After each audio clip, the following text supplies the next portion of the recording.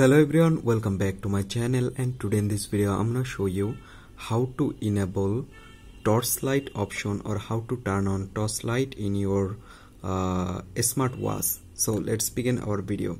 So first of all you just need to swipe up from top on your smartwatch skin and right now at this corner you can see there have a torch icon.